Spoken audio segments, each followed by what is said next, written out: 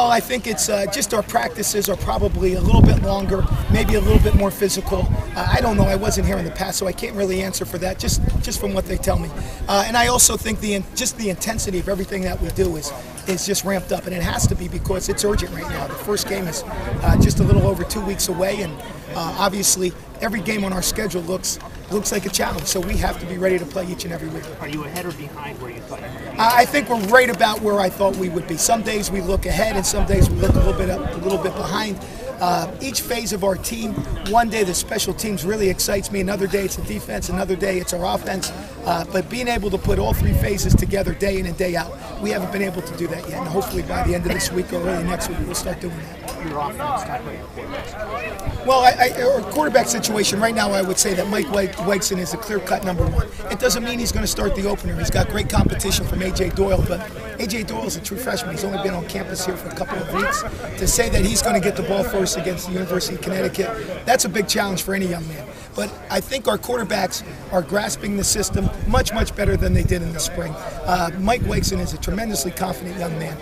Our staff has confidence in him. We'll hone the offense to set his meet his skill set once the games get going, and I think he's going to be fine. Are you a one quarterback guy, or do you like to I'm not afraid of using two quarterbacks. I'd rather not. But if uh, if if the two are close, then I'll use both of them until we can really settle on one. It's a long season. Are they the same? Are they, are they very similar in their styles, or by using two different, these two guys, are they different? Uh, there's not a dramatic difference, but one has uh, one has clearly differentiated skills from the other, and both of them bring something a little bit different to the table. What makes you say that Wegzyn's your clear number one? What is well, just the way he handles the offense day in and day out, uh, his uh, passing efficiency, his checks, uh, his poise, all of that stuff. Mike is clearly ahead of AJ. Not that AJ doesn't have the talent; he just doesn't have all the intangibles fully honed yet, ready to go out there on the field against big-time competition. Has your offense adjusted well to what you want them to do? They figured it, figuring it out. Uh, yeah, and right now we're really just kind of going through the same things we did in the spring, so it's kind of like a, a review, so to speak. Uh, once we start really implementing the offense uh, and putting it against defense, uh, Connecticut's defenses and Connecticut's uh, team, then it may it may take some more work. But I think we're right where we need to be. Defensively, how do you feel about You know, we have really good team speed. Uh, they play really hard. They swarm to the ball. Uh, will they do it in the games? I'd like to think so. Usually, what you see on the practice field is what you see in the games. When's the uh, when's the date change from camp to preparation? Uh, we're going to uh, take camp all the way through next Thursday, uh, and then Friday we'll start really start uh, honing in on UConn.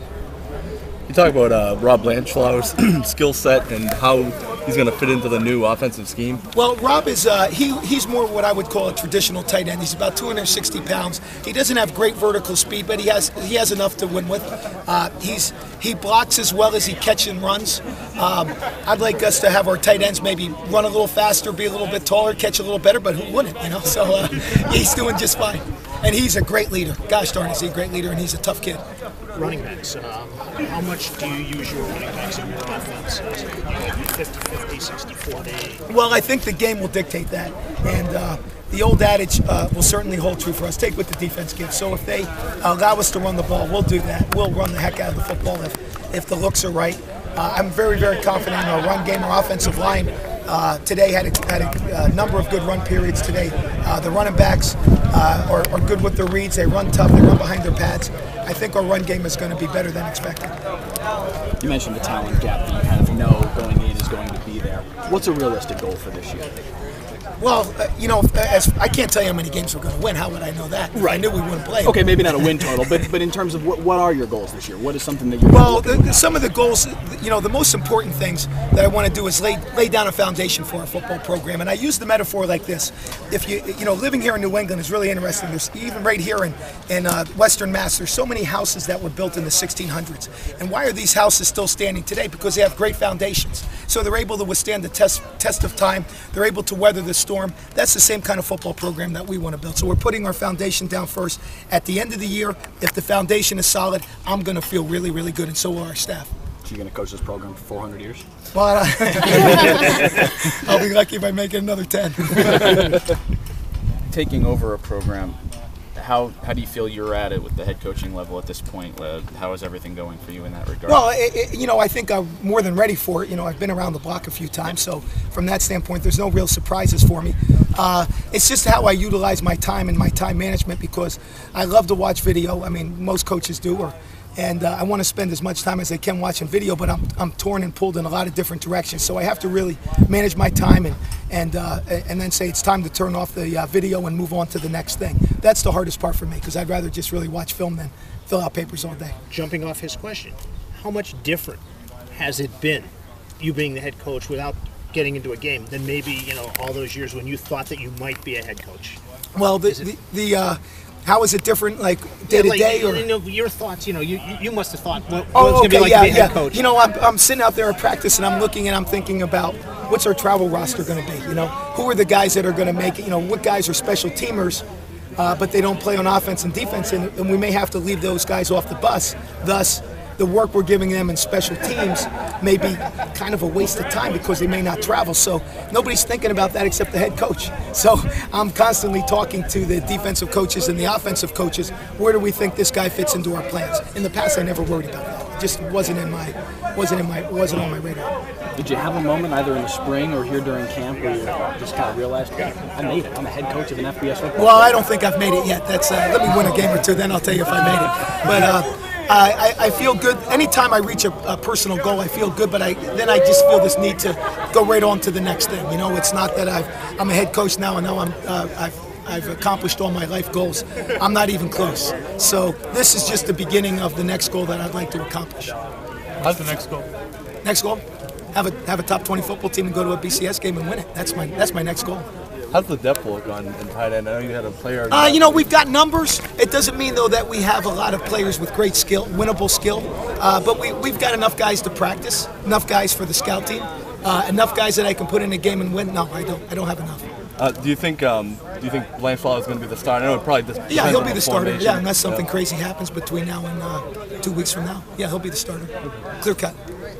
What have you seen out of uh, Michael Cox and uh, Walker, both transfer guys? Uh, yeah, yeah, they're about everything we expected them to be, and, and obviously I knew Dion very well, so I knew what I was getting there. Uh, Mike Cox has just been a, a really great, really great addition to our football program. He comes to work every single day, virtually never misses a rep. Uh, he's tough. He can catch the ball, uh, blocks well, uh, and very, very diligent in learning his assignments and wants to win. You know, he's a real team guy. A lot of times, a guy comes in like that and uh, they, they may have a different mindset than what you're trying to develop with your football program, but he's all in. He's all in to be a team player, to be a Minuteman. If he's a starter, the second or the third, he'll be. He won't be happy if he's not the starter, but he'll accept his role. Charley, these are all new guys to you, but since the spring, you- you've gotten a, a pretty good idea of what you could expect, you know, from them in terms of, as you call it, winnable skill. Just in camp, uh, are there like particular guys who have really kind of jumped out, caught your eye, you know, maybe uh, you know, gave you gave you the idea that uh, you got something special? Yeah, I think there's uh, there's really one guy on offense right now, Tajae Sharpe. Uh, I, I kind of knew he was going to be that kind of guy, but to have him actually come out and demonstrate it day in and day out, really, really exciting. Uh, I think he's going to be really good. Uh, I, I thought that Stacey Bedell was showing that early. Uh, then he was he's been tweaked for a little bit, and he's only been kind of uh, half in and half out. So I, he hasn't taken that next big step forward. Uh, on the offensive line, I, I think there's a freshman guy named Mike Boland who's really stepped up the last two days. Um, can a true freshman start on the offensive line? I don't think so, but he he's ready to. You know, he looks like he's getting closer to be a backup.